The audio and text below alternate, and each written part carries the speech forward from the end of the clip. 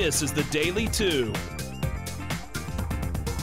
Hi, and welcome to the Daily 2. We're back with two community champions Amber Stewart, Executive Director of the Atlanta Families Awards for Excellence in Education, and Melinda Jeffress, Montlick and Associates Director of Community Programs.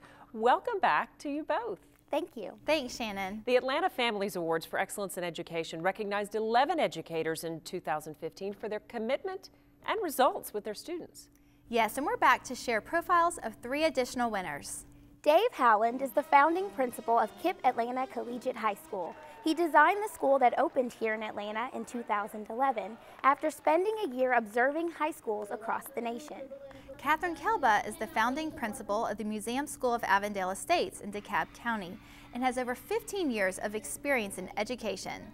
Carrie Staines is a history teacher at Druid Hills High School in DeKalb County, where she's been inspiring her students for the last seven years. Each winner received $7,500, a portion of which goes towards his or her own special project? Yes, Dave Howland's Blended Learning Project will help his teachers integrate technology during direct instruction.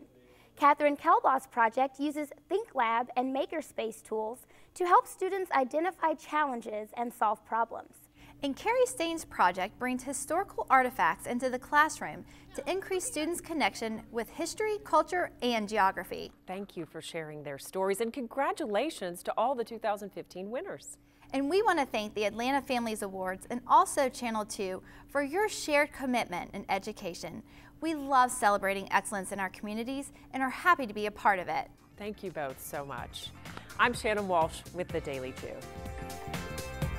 For more Daily 2, go to WSBTV.com slash Daily 2.